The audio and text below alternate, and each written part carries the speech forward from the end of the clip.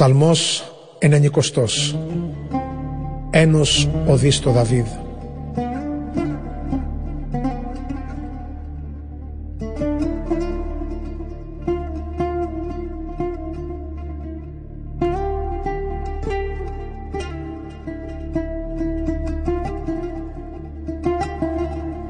Ο κατοικών εν βοηθεία του υψίστου, εν σκέπη του Θεού του ουρανού αυλισθήσετε.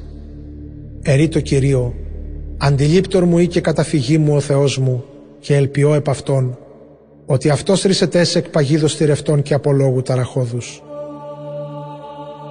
Εν της μεταφρένης αυτού επισκιάσισι και υπό τας σπτέρυγας αυτού ελπίης, όπλο κυκλώσισε η αλήθεια αυτού. Ου φοβηθήσει από φόβου νυχτερινού, από βέλους πετωμένου ημέρας, από πράγματος εν σκότη διαπορευομένου, από συμπτώματος και δαιμονίου μεσημβρινού. Πεσείτε εκ του κλήτου σου χιλιάς και μυριάς εκ δεξιών σου, προσέ δε ουκ εγγύη. Πλην της οφθαλμής σου κατανοήσεις και ανταπόδοση να μαρτωλών όψη. Ότι σύ Κύριε ελπίς μου, τον ύψης τον έθου καταφυγήν σου, ου προσελεύσετε προσέ κακά και μάστιγς ουκ εγγύη εν το σκηνόματί σου ότι της αγγέλης αυτού εντελείται περισσού του διαφυλάξεσαι εν πάσες τεσοδοί σου.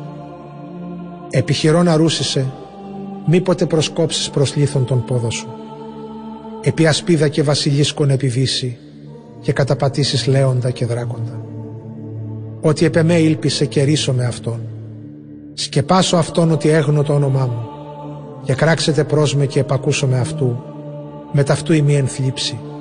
Εξελούμε αυτόν και δοξάσω αυτόν Μακρότητα ημερών εμπλήσω αυτόν και δείξω αυτό το σωτηριόν μου.